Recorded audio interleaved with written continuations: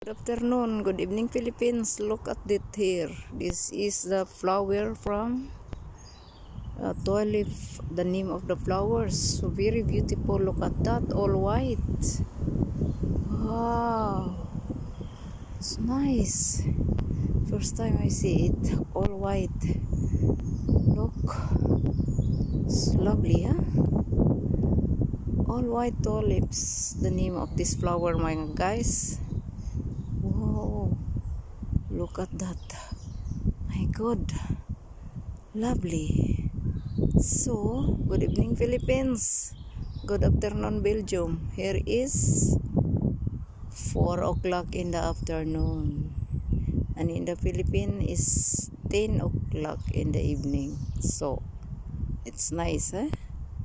Look guys, how beautiful is this flower. Love it. Wow. Love you mga guys.